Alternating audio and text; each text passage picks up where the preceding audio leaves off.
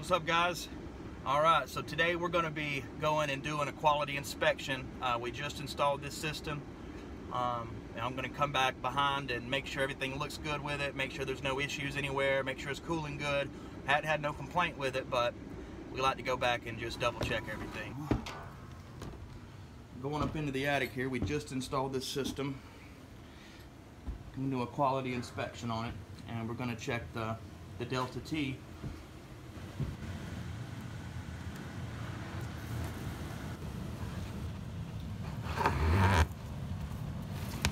on this inspection so far. Um, started out with the Delta T. I pulled the old filter out, but I put a new one in. Um, and the Delta T isn't fantastic. It's not really where you want it to be. So it's around 14. It might get up to about 14 and a half, the highest I've seen. So you always, you want to try to get it as close to 20 as you can. It is only 10 in the morning, about 78 degrees so I mean it should it should be working better than that. Um, it is 76 in the house so that can play a little bit of a role but it still should be um, doing a little better than that. So let's go uh, put that new filter in and then we'll go check that refrigerant levels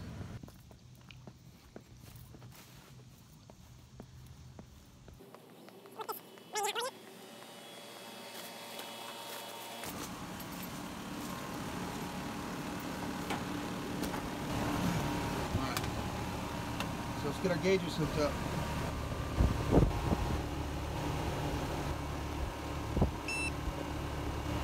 Alright, so we got the got everything hooked up. I don't know if you can see this or not.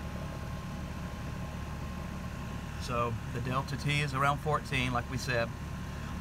And this is why you want to go off of subcooling when it's a TXV or superheat when it's not it's very important because if you wasn't looking at your subcooling and your um, and everything because this these Rheems should be around 12 on the subcooling so this thing's pretty dead on. So if you wasn't going off that and you was just going off suction pressures the suction looks a little high which it could be a couple different variables because that's happening but the head pressure looks okay. And the, one of the things I always pay a lot of attention to is the line temperatures. Um, so if we wasn't going off the subcool and you've seen that line temperature at 63, you're gonna automatically assume it didn't get enough refrigerant. So you're gonna wanna put a little more in it. And especially because the Delta T is 14. You can normally get a good bit more out of that than 14. So um, right now, I mean, the, the pressures show that it's, it's pretty dialed in. It just, uh, there's sort of worrisome it's only getting 14 right now because it's really not that hot right now. Um, so let's keep checking and we'll uh, look a little deeper into this. So after looking at all the pressures and the temperatures like we was doing, um, when you see that suction pressure a little higher than it normally should be, um, nothing real concerning, but you know, um, 60, I think it's 62 is our wet bulb. Um, probably should be closer around 59, 58, um, maybe even 60. But with that suction pressure being up just a hair, more than it should, line temperature not getting where it should, um, it makes me believe that there's the blower, the blower speed might be affecting it. That could be a strong blower speed, could be on a too high of a setting for the the CFMs and the ductwork. So we're going to go up there and take a look at. Uh, more than likely, it's on the highest setting for the for cooling.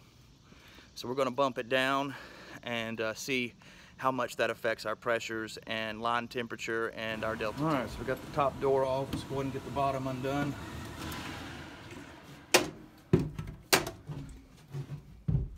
Let's see if we can take a look at this thing. All right, so like we was um, figuring, that's usually how it comes factory anyways. Black is your high setting, and that is what's on cool. I don't know if you can see it completely or not. There it is. So that's on cool.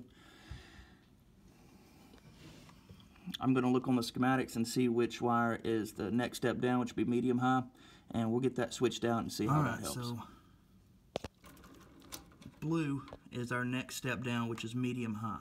So we're going to get this wire and replace it right here where the black is and then move the black over to where the blue is, okay? All right, so we got those switched out. Let's get the doors back on it and we're going to be able to uh, to look at our difference now. Remember, our, our, Delta T was around 14 at its best. Um, suction pressure was about 140, 141 and line temperature was about 63 so a little high on all, on all of that so let it run for about 10 minutes or so and then we'll check this again. Alright guys so what a difference this has made.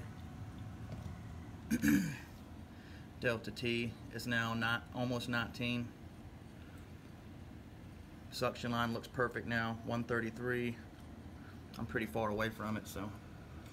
Line temperature 53 superheat 8 our subcooling's 13. Everything looks so much better on this thing. It's bumping at 19 now. All right, so that, that really shows, you know, how important airspeed is. You don't always have to have your blowers on, on high during the, during the summer when it's cooling. Majority of the time you do, but like I went in and checked his airflow before and I mean, it was slamming out the vents. It's a two ton system. Um, don't really have much uh, many many runs so I, it, it, was really slamming and like we was talking about the air temperature just wasn't there. It wasn't like it should be. Um, turning it to medium high it's not that big of a difference. I went just went in and checked uh, checked his vents. They're still blowing very well but he's he's getting about eight more degrees um, cooling out of it. So last time I checked it it was almost at 20 so that's it's really good, and that's how it should be. Um, sometimes the way the ductworks is just set up, it you know it needs to run on a little bit of a lower speed to get what you need out of it. So with the brand new system, 78 outside, that should be killing it. It should be around 20. So when it, when you see one that's 14 on the Delta T and your suction looks high like that, then check the blower speed. It, it's not going to hurt nothing. Um, you can always, you need to set and watch it for a good while. Make sure you're not gonna start dropping temps too low where it's gonna be close to freezing because then when it cools off and runs, it will freeze. So you wanna watch it for a while, make sure it looks good, but changing that blower speed from high to medium high made a monster difference in this system. So hopefully you learned something from that. Um, it's a really good piece of knowledge to carry with you about the about the speeds. Um, you know, most everybody's just slam it on high in the AC and you're good. Which most of the time that's right, but there are certain instances like this one, um, nothing's wrong with the system, it's brand new. The blower's just a little too too fast. So dial it down and now it's cooling like a champ. So hope you learned something from this one and we'll uh, see you next time.